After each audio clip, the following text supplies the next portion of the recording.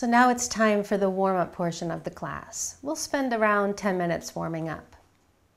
First of all, sitting in your seated mountain, Maitri Asana, we're going to drop our arms and let them hang loosely from the shoulder joints. So remember, you want to keep your core long and tall and strong. You want to keep the body in seated mountain.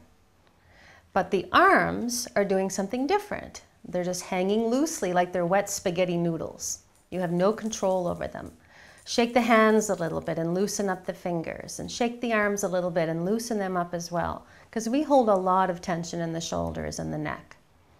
Okay, now noticing your breathing, we're going to start rolling the shoulders very, very gently. And it doesn't matter if you roll the shoulders one at a time, like I'm doing now, or some students prefer to roll them both at the same time. That doesn't matter. So whatever way you like to roll your shoulders, just start with very small little circles.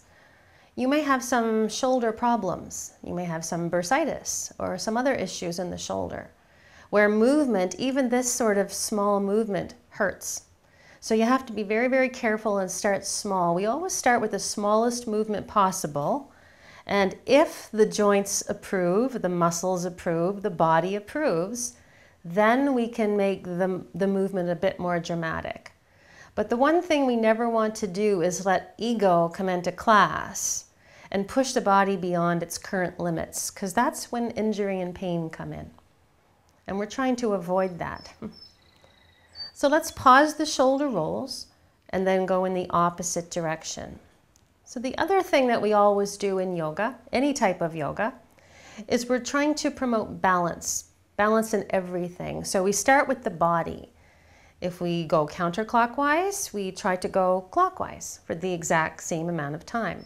If we go right, we go left. If we go forward, we go backwards. So we're promoting balance in the body, and that will eventually bring balance to the mind and the emotions and the spirit. It all happens naturally. You don't have to force any of it. So once you feel like you've been going in both directions the same time, for the same amount of time, you can stop those shoulder rolls. Let's put our hands back on our thighs and take a deep breath in through the nose and a sigh through the mouth.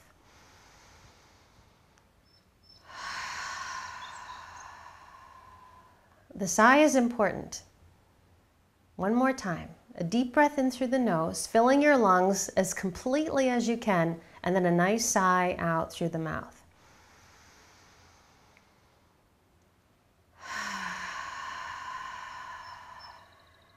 Make sure that you are focusing on exactly what you are doing. The mind likes to wander off.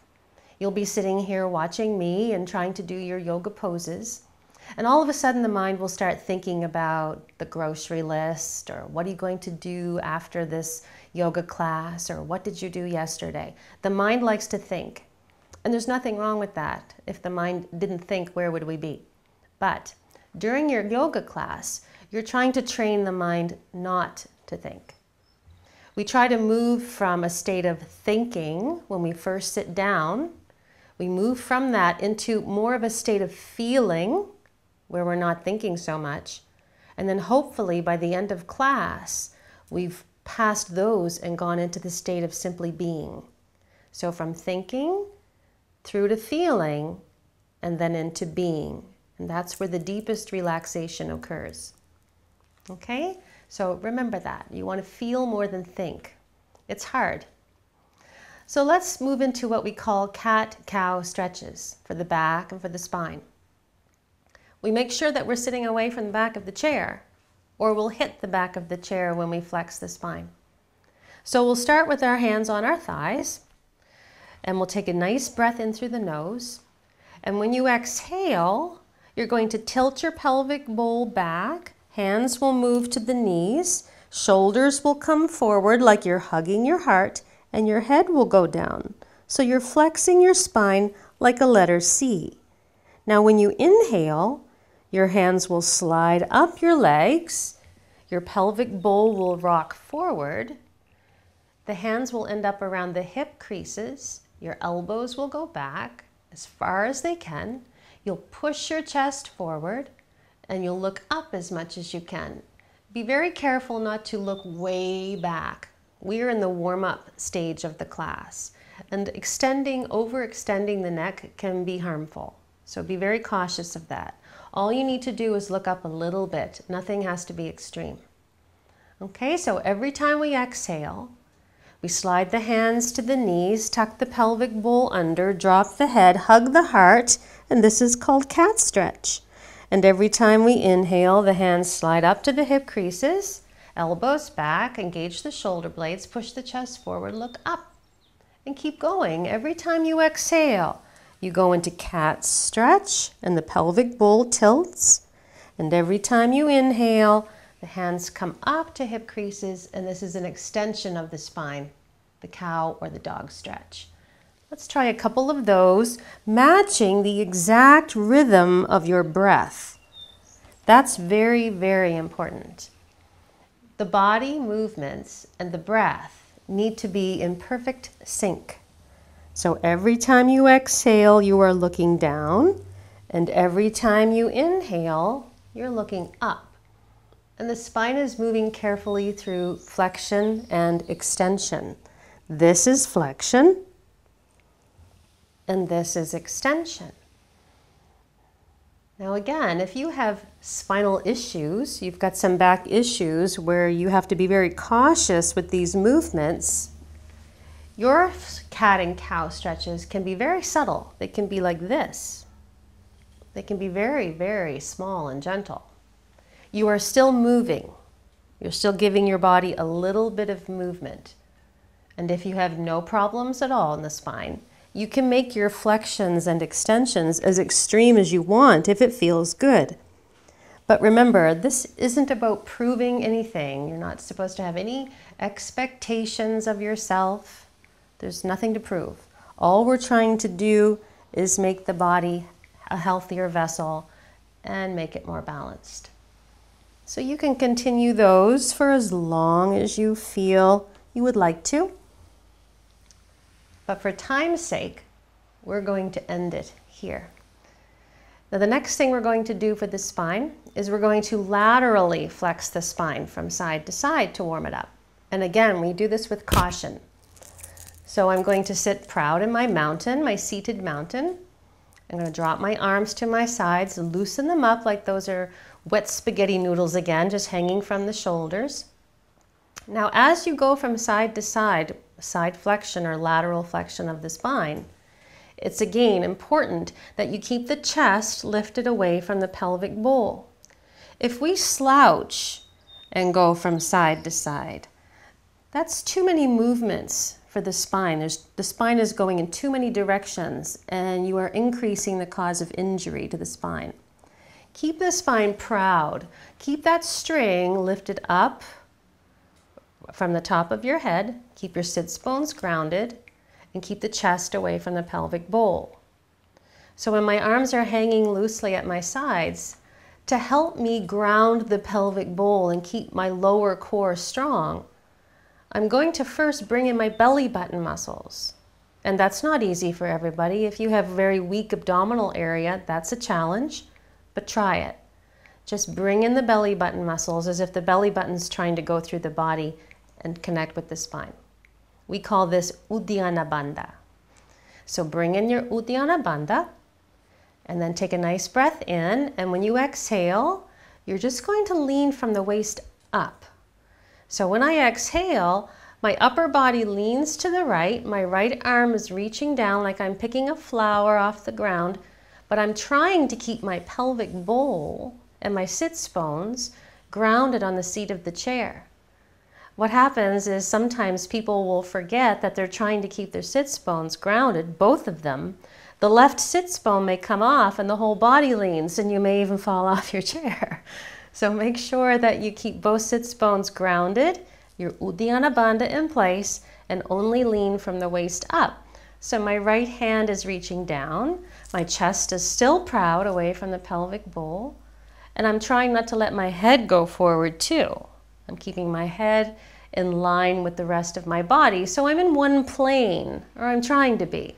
like I'm sandwiched between two panes of glass. There's one in front of me and there's one behind me. And I'm trying to go from side to side between those two panes. Okay, the next time I inhale, I'm going to bring everything back up to neutral and I'm grounded on both sits bones evenly. So when I exhale, I go off to the other side. My Uddiyana Bandha is engaged. I lean to the left, my left hand reaches down, my head hangs off to the left. I'm still keeping my chest proud, and I'm leaning between those two panes of glass, one in the front and one behind me. I inhale back up to center and ground it through both sits bones. So let's try it a little faster. Take a breath in.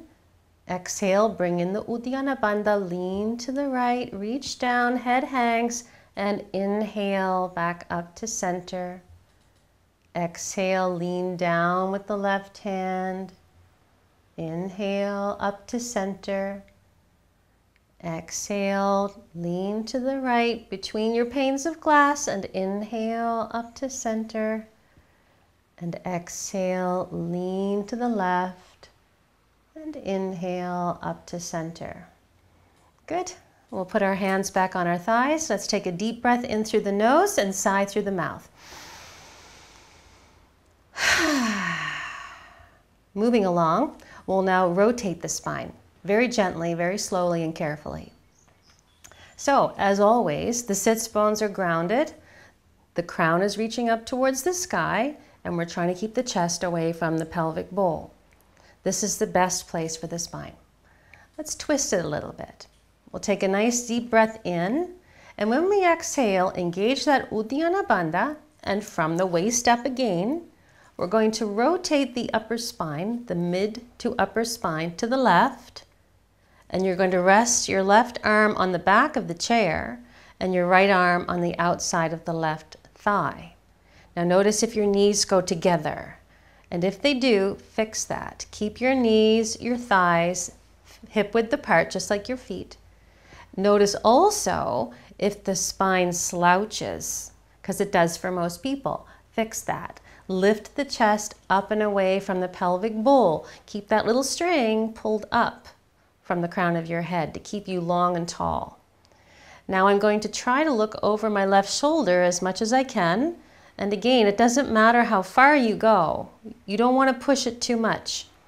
I always say in class, practice your yoga in a C plus fashion, not an A plus fashion, because you may injure yourself. And especially if you don't have a teacher sitting beside you watching this class, because I'm assuming you don't, um, it's best not to push yourself in any postures unless there's a teacher watching you. So I'm looking over my left shoulder as best I can, and the moment I feel any kind of pain in the spine or back, I'm going to back off. Now, as you're sitting here, see if your shoulders are tight, if they've scrunched up like this. Relax the shoulders. So the arms are loose, the hands and fingers are loose, but your core is strong and proud and tall.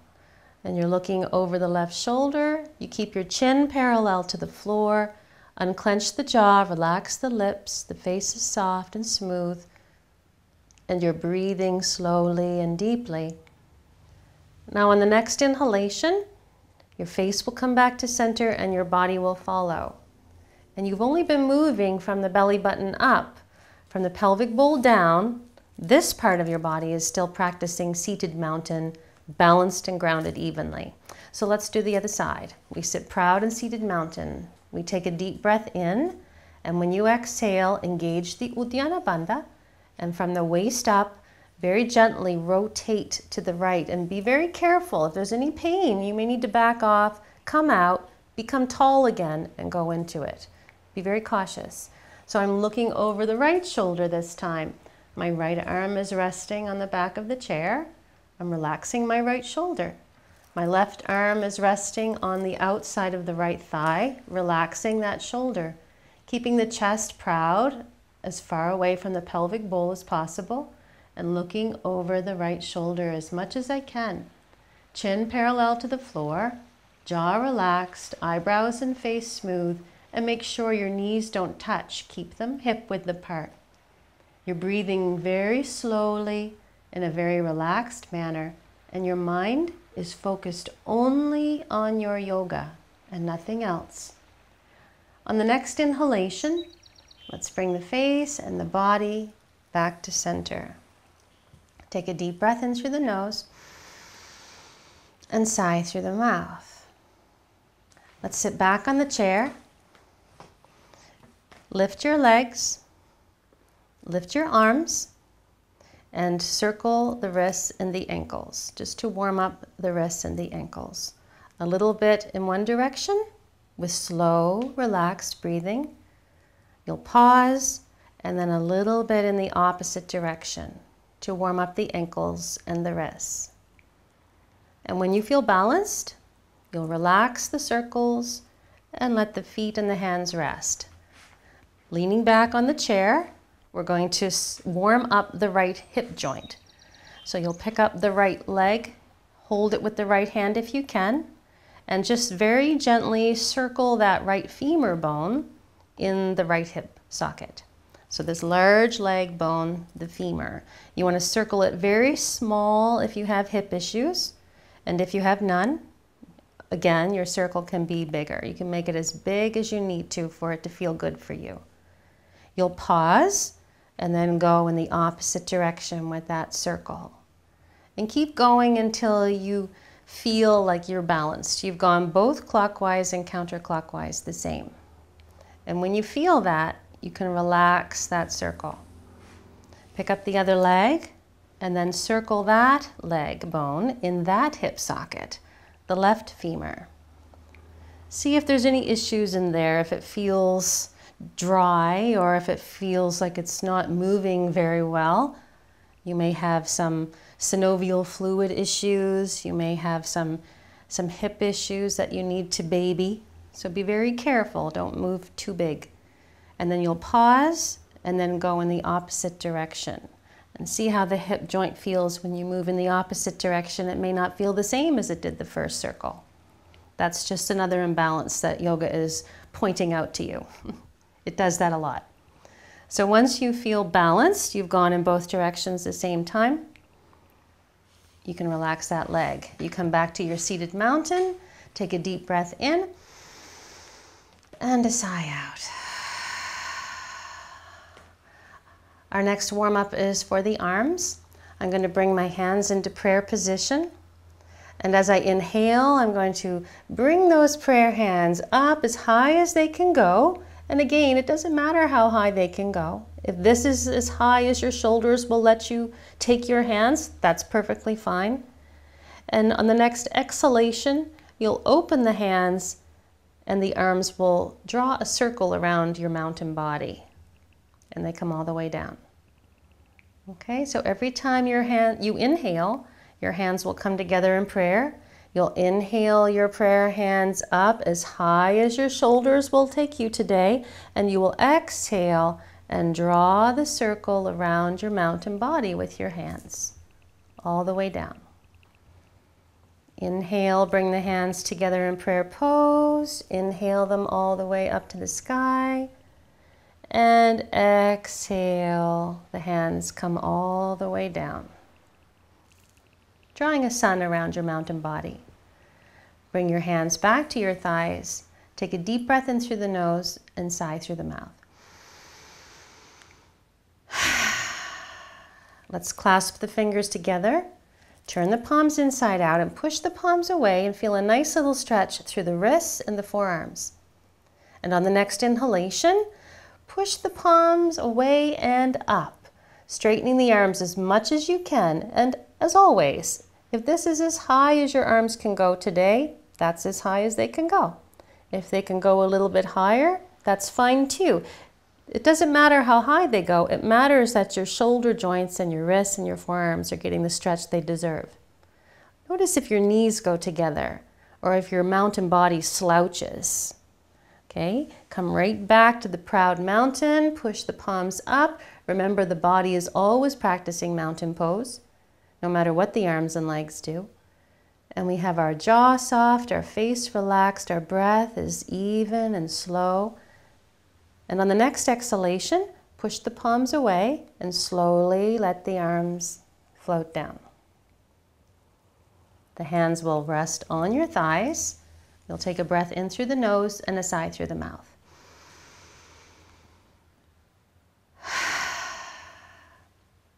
On the next exhalation, we'll stretch the neck. We're almost done the warm-ups. Exhale the right ear down to the right shoulder. Now notice if the whole body wants to lean, don't let that happen. Keep both sits bones grounded. Keep the chest proud. Keep both shoulders relaxed, both arms soft, both fingers soft. And just let the head go down to the right side. So you're stretching the left side of the neck. And imagine that you're breathing up and down the left side of the throat. There's plenty of room on the left side. Keep your face soft. Keep your mind focused on exactly what you're doing. And try to keep your breath as even as possible, the inhales and the exhales even in duration. On the next inhalation, bring the head back up to center, keeping your body in mountain. When you're ready, take a big breath in through the nose and exhale, the left ear goes down to the left shoulder and we're stretching the right side of the neck. Notice if your whole body is leaning, for most beginners it does. You just bring your sits bones right back to the seat of the chair so they're evenly grounded, keeping the chest away from the pelvic bowl, keeping the shoulders relaxed and the arms soft, the jaw relaxed. The left ear is trying to get to the left shoulder. The left shoulder is not trying to get up to the left ear. Keep it down and stretch the right side of the neck breathing up and down the right side of the throat. Focus on what you're doing as if this is the only thing going on in the entire world right now, your yoga. And when you feel balanced, you'll inhale your head back up to center. Take a breath in. And when you exhale, the chin will go down to meet the chest to stretch the back of the neck but the chest is also going to come up to meet the chin. So as the chest bone, the sternum bone comes up and the chin goes down, remember the back of your throat is wide open. You won't choke. You can breathe up and down the back of your throat and you're stretching the neck muscles, the back, all the way from the back of the skull, probably down towards the shoulder blades. You're also squeezing the thyroid and parathyroid glands here at the front of the throat. So you're giving them a good squeeze, a good massage. Stay here as long as you need this stretch. Notice if your body fell and went into out of mountain and fix that. Get the chest up, keep the body in mountain, squeeze the thyroid and parathyroid glands, and stretch the back of the neck as you breathe up and down the back of the throat. And on the next inhalation, the head can float slowly back up. Breathe in through the nose and sigh through the mouth.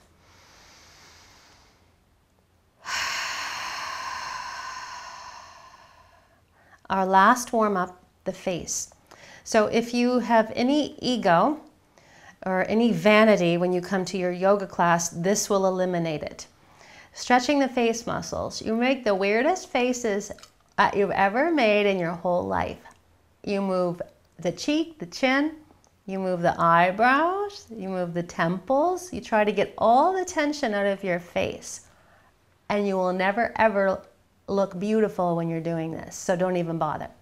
And then you open your mouth as wide as you can, and you'll stick out your tongue and wiggle it. And you're trying to get as much tension out of the jaw and the face as possible we hold a lot of tension in the face and the jaw.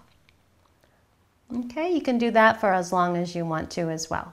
And when you're done, you'll sit back in your mountain where you probably are already. Breathe in through the nose and sigh through the mouth.